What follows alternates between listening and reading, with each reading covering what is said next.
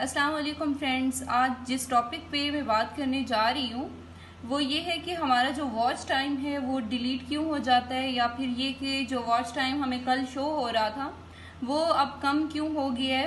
क्योंकि 24 four hours बाद जाके जो है वॉच टाइम वो हमारा अपडेट होता है तो हम ये नोट करते हैं कि कल अगर लेट सपोज़ मेरे 2000 वॉच टाइम जो है मिनट्स में शो हो रहे थे तो आज वो 1900 या फिर 1800 क्यों शो हो रहे हैं? तो बीच में जो वो हंड्रेड मिनट्स का गैप है, वो कहाँ चले गए हैं? तो ये चीज़ें जो इस तरह से मतलब हैं कन्फ्यूजन्स उनकी क्या रीजंस हो सकती हैं, वो थोड़ी सी डिस्कस करते हैं। या फिर कुछ लोगों का बहुत ज़्यादा डिफरेंस आ रहा होता है, उस चीज़ को भी डिस्कस करना है। सबसे पहली बात यह है कि जब हम यहाँ पे वॉच टाइम की बात करते हैं तो वॉच टाइम जो है, आप देखें, आपने कोई भी वीडियोस अपलोड किए हुई हैं, जैसे यहाँ पे अगर मैं देखूँ तो यहाँ मेरी जो कुछ पाँच सात वीडियोस अपलोड हुई हुई हैं तो ये सारी शो हो जाएँगी यहाँ पे ठीक है? जितनी भी यहाँ पे आ, मैंने अपलोड की हैं।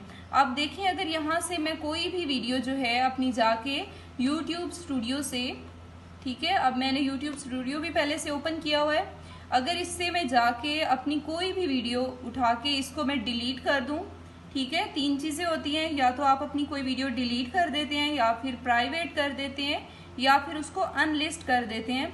तो इस, इन तीनों सूरतों में जो आपका वॉच टाइम है वो डिलीट हो जाता है। यानी कि क्या मतलब है, अब यहाँ पे जब भी किसी इस पे आएँगे वीडियो के ऊपर तो यहाँ पे ये तीन डॉट्स ऑटोमेटिकली शो होना शुरू हो जाएँगे। ठीक है तो यहाँ पे इन तीन डॉट्स पे करें अगर क्लिक तो हमारे पास डिफरेंट ऑप्शंस आएँगे।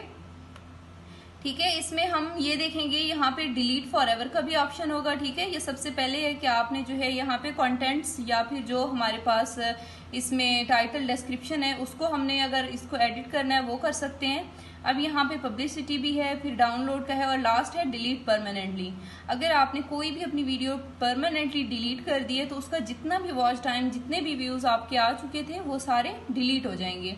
ठीक है? और दूसरा ये है कि यहाँ पे जब हम वीडियो पे क्लिक करते हैं तो यहाँ पे कोई भी ये सारी सिलेक्ट हो गई हैं, अगर मैं किसी एक को करना चाहूँ तो भी सही है। ठीक है? यहाँ पे मैं अगर इस वाली को कहूँ कि सिर्फ़ एक ये वाली करनी है तो जस्ट इसी पे ही क्लिक करूँगी। तो अब यहाँ पे देखें ऊपर हमारे पास डिफरेंट जो है वो ऑप्शन आ गए हुए हैं। तो इसमें क्या है? अगर हम यहाँ मॉडिफाई वाले में देखें तो क्या हमारे पास कौन कौन से ऑप्शन हैं? ठीक है? इसमें से हमारे पास देखें, सबसे पहले टाइटल है डिस्क्रिप्शन है, फिर इसी तरह पब्लिक स्कोप है ठीक है? ये या फिर यहाँ पे सम टाइम आ रहा है विजिबिलिटी एक्सेसिबिलिटी तो हमने कितने लोगों को मतलब यहाँ पे विजिबल जो है वो प्राइवेट किया हुआ है ओनली मी किया हुआ है, ठीक है? या फिर हमने जो है वो इसको क्या किया हुआ है? पब्लिक किया हुआ है। अगर तो हमारे पास ये पब्लिक है, फिर तो ठीक है, ये पब्लिक के लिए अगर उस वीडियो को आपने प्राइवेट कर दिया है, पहले वो पब्लिक थी। लेट सपोज़ जैसे मेरी ये पहली वीडियो है, इस पे इस टाइम 245 जो है वो रिव्यूज़ आ चुके हुए हैं, ठीक है? और अगर मैं ये इसको प्राइवेट कर देती हूँ तो इसके जितने भी मुझे इन रिव्यूज़ पे वॉच मिनट्स मिल चुके हैं, या वॉच आवर्स जितने भी मुझे मिल चुके हैं तो वो सारे के सारे क्या हो जाएँगे? परमानेंटली डिलीट हो जाएँगे। वो मेरे अकाउंट से, यानी जो जितने मेरे मिनट्स हैं वॉच टाइम उसमें से क्या हो जाएँगे? कम हो जाएँगे। और एक और चीज़ जो है मेन हमने वॉच टाइम देखना कहाँ से होता है? पहले भी मैंने अपनी एक वीडियो में बताया था, जो आपके पास वाई टी स्टूडियो ऐप होती है ना, वहाँ पे नहीं देखना होता है आपने। जो आपके अकाउंट होने हैं 365 डेज़ के, ठीक है? 365 डेज़ इसलिए कह रही हूँ क्योंकि आपने उससे पहले जितने भी लिए हूँ, अगर आपके अकाउंट को दो साल हो रहे हो, तीन साल, और वो स्टिल मोनिटाइज नहीं है, लेकिन आप अब जो है आपके वॉच आवर्स भी पूरे होने वाले हैं और आपके सब्सक्राइबर्स भी तो यहाँ पे सिर्फ़ वही डाटा जो है, वही वॉच आवर्स जो है वो काउंट होंगे, जो last three sixty five days के होंगे। यानी वन ईयर के काउंट होंगे, उससे पहले के जितने भी व्यूज़ हैं, जितने भी वॉच आवर्स हैं, वो काउंट नहीं होंगे। अब यहाँ पे जो हमारे पास आ रहे हैं, हम देख लें यहाँ पे जो है कि कितने हमारे जो है सब्सक्राइबर्स हैं और कितने जो है हमारे पास वॉच आवर्स हैं तो ये सारे हमारे पास काउंट होंगे। यहाँ से जब भी हमारा चैनल मोनेटाइजेशन के लिए जाएगा तो ये वाले जो हमारे वॉच आवर्स हैं, ये काउंट होंगे। अच्छा जी, अब आ जाते हैं इस बात की तरफ़ कि हमारे जो है कुछ लोगों ने ये पूछा हुआ है कि मेरे जी घर में वाईफाई लगा हुआ है वाईफाई कनेक्शन है।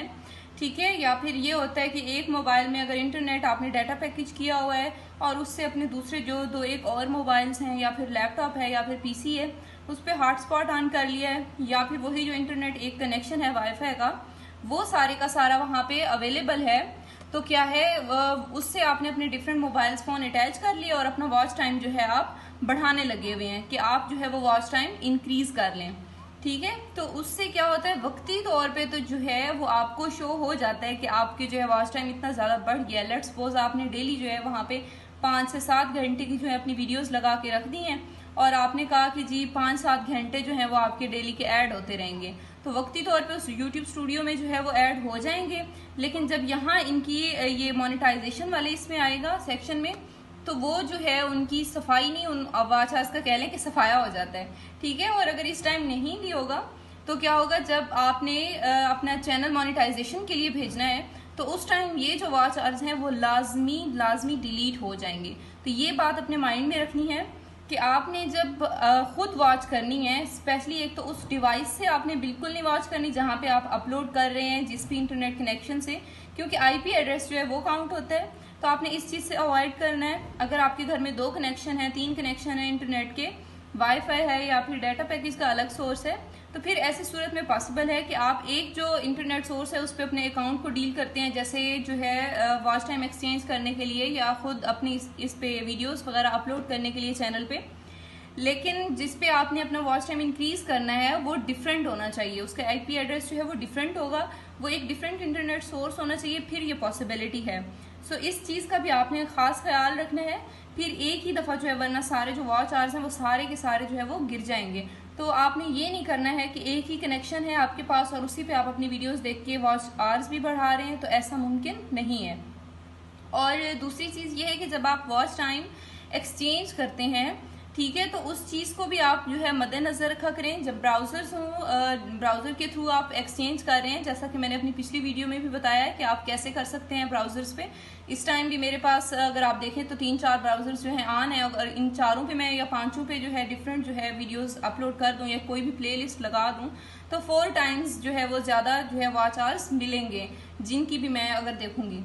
तो इसमें ये है, आपने ये ध्यान रखना है कि जब आपने इस तरह से प्लेलिस्ट्स लगानी है तो आपने साइन आउट कर देना है अपना अकाउंट सबसे पहले और उसके बाद जो है आपने क्या करना है प्लेलिस्ट जो है, वो आपने ब्राउजर्स पे ऑन करनी है, यानी विदाउट साइनिंग इन और डेली जब भी आपने कोई टास्क स्टार्ट करना है या कोई एक्टिविटी स्टार्ट करनी है तो लाजमी जो हिस्ट्री है, उसको भी क्लियर करना है। तो इस तरह से जो है, आपके वॉच आवर्स वो इंक्रीज होते जाएँगे और वो स्पैम नहीं होंगे।